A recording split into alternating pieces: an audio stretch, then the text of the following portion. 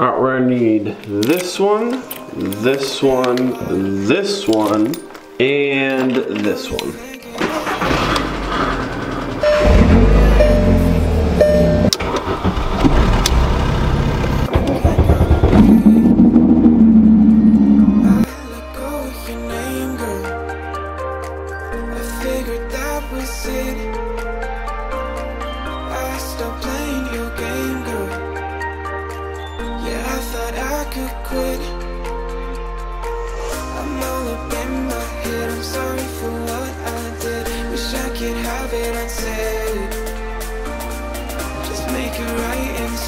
Instead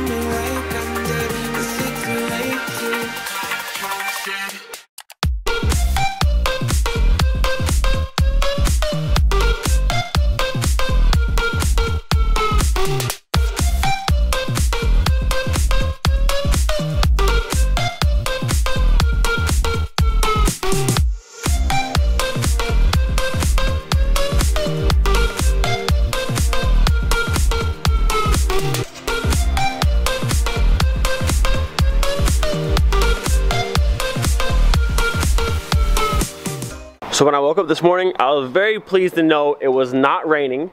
The weather's halfway decent. We got some blue sky going on. I was like, you know what? All of the cars need to be outside today. All the Volkswagens just enjoying the nice day. Over here we have the Turkish green 1994 Volkswagen Golf Savoy, aka Demon Car. We have Miley over there, my 1997 Volkswagen Jetta GLS, which is a VR6 swap car now. Tony's Mark 6 GLI, and then the amazing Daily Mark 4 Bora Wagon. Love that car.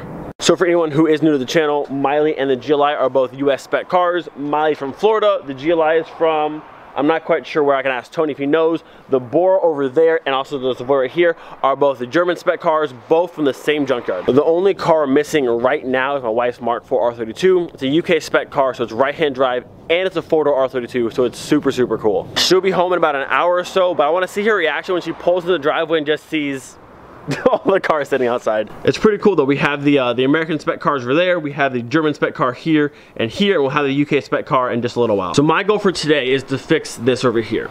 The passenger side, oh it's locked, hang on. All right, let's try this again. The passenger side seat in the front here is super, super loose and wobbly. Look at this. This super loose and wobbly. Whenever I drive, it squeaks like crazy and makes it drives me insane. Absolutely insane. So we're gonna pull this out and see what the issue is. If you guys remember when my car actually got here for being shipped from Florida, they had broken the driver's seat on the rail somehow, and this seat was also removed for some reason. I don't know. It is not how it used to be. It never used to squeak before, but now the seat just like falls all over the place and very, very loose and it squeaks and I just cannot stand it any longer. So I think I may have found my issue here. So if you look down here, see that? That is the slide to my seat, which is completely out of the rail. I don't know why it's like that or how that happened. I only assume when they pull my seats out, they did something and they didn't put it back properly, but it's also bent right here, which it wasn't before. well, hopefully I was so we're gonna pull the seat back out. I'm gonna go ahead and bend this arm further out so it reaches. I don't even know what happened and why it's not fitting anymore, but that's uh, not what that's supposed to be. Pull this seat out. Since my uh, my harness bar is back there, I have to fold the seat forward like this, otherwise it won't go back far enough to actually maneuver its way out.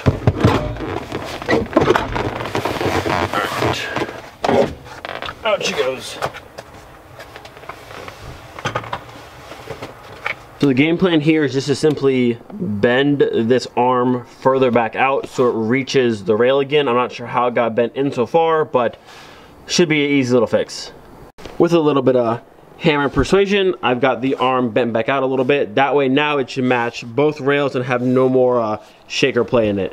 Okay, so that actually took a little bit longer than I was originally anticipating, but we got it now. I actually cut this piece off the front side. Uh, these are Mark II Recaros out of a 1991 GT, I want to say they were when I got them. They were that blue velour color, kind of cool, but now they're black leather. Um, but I had to modify the bases to be wider to fit these rails for the Mark III. I think the Mark IIs are like 21 wide and the Mark III like 23. There's a small difference, but you had to widen it a little bit to make it fit. And we did that, and then somehow in shipping, they broke like both my seats, and it was super like bent and messed up. So I cut that piece off just now, rebend the arms out, and now, this out. Everything's nice and in, and Listen. See that? Nice and tight, not going nowhere. I have to run to the post office real quick and pick up a package, um, but it's a perfect time to test this car real quick and make sure that seat's not squeaking any longer because it was driving me insane. But I'm hoping I can pull this car out of the driveway without having to put all these cars away. I think I just put this one flat to the side and maybe make it through this gap right here. It's doable, I think. So this car actually started second try today when I was filming that beginning intro. Let's see if it still starts now. So I turned it off earlier, I turned it right back on. She's been sitting for about an hour or so now, so we'll see if she, uh... Nope, give it a second.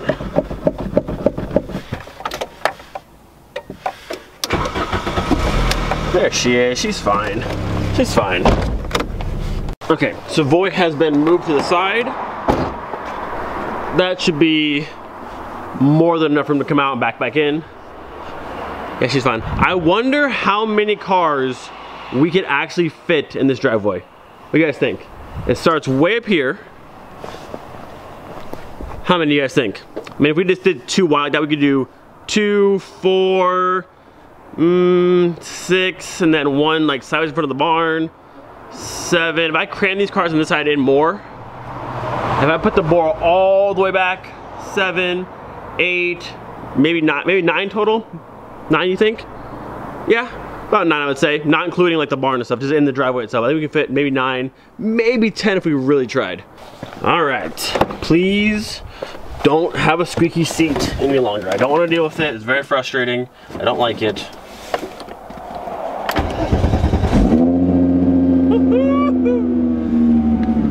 All right, so since my car has no AC or heat, my windows are fogging up right now, but I have an idea. Uh-oh, I hear the sound of another VR6. There she is. The last car of the fleet. The four-door UK spec R32. Now all the cars are here. What do you think? I like it. Yeah. So what I got going on over here, I have my portable heater plugged in inside the car, warming it up. Should be enough just to warm the car up on the inside, defog the windows, let me drive for a little while. As long as I don't open the windows or the doors too much, it should be good to go. All right, heater has done its job. Let's do this fast. Pull this out. Down. And we're ready. Easy as that. Is it warm in here? Ooh, it's nice and toasty in here. So much better than normal. Usually I can see my breath in this car, which is not good. So now much nicer. So I just did a quick lap without Casey in the car. I'm pleased to report the seat no longer squeaks. Thank goodness. Unfortunately, my heating method did not work and the windows fogged up a little bit. So now uh, windows are down. It's kind of cold, but we can still see, kind of. I gotta fix this thing. Uh, heater core, gotta fix that.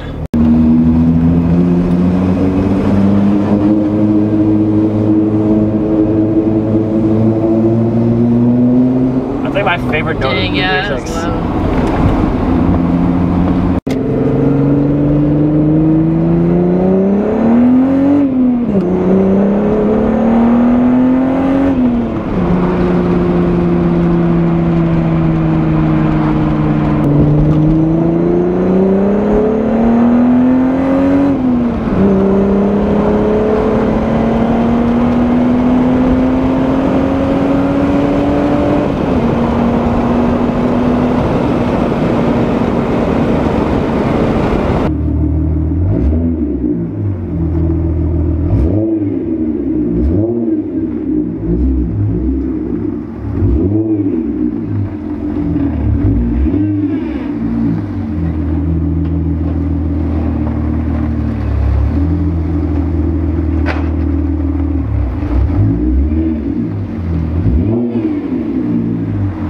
So I decided to put Miley over here and I'm gonna put the Savoy in the backside for now, just for a little change.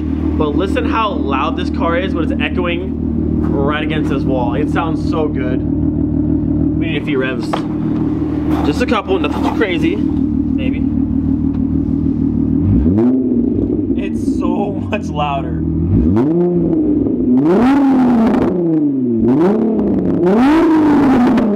Oh my God. Okay, we're done. No, no flames, no, uh, no fireballs tonight, but just a few, one more. Jeez, and I'm barely tapping it. If I just pin it, it'll pop and shoot flames like crazy, but we don't want the neighbors calling the police for, uh, for gunshots tonight. That'd be no good. So I decided to put the wagon on this side now. I'm gonna put the Savoy over there tonight. Um, I think I'm gonna keep this car here. It's just easier to pull in and out of this versus backing up over that dip and always dragging in the exhaust and the mud flaps is just kind of annoying. So this is much easier for me and Casey's usually always gone. So to pull the car in and out, it's much, much easier. I think though in the long run, I'm gonna put Miley, I mean, Tony's car is only, the GLI is only in there until April and he's gone. Then I have two free spots for there. But I think Miley will go to this side over here by herself. The Savoy go back over here, and then the R3 can be here. Or if I put both Mercury's over there, I haven't quite decided yet. But for right now, Miley can stay there. The Savoy will go over there for tonight, and then the wagon probably will stay permanent right there. All the cars, nice and tucked away. Man, I love these wheels. They look so good. Cars over here. Last one coming in now. Just a happy barn full of Volkswagens.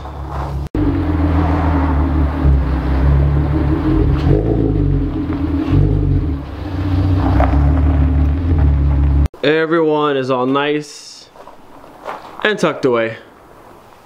I hope you guys enjoyed today's video. If you have any questions on any of the cars that are here at the house, leave a comment on this video and I'll try and go through and answer all those ones for you guys. As always, thank you guys so much for watching. Don't forget, be thankful every single day. We'll see you guys next time. Peace.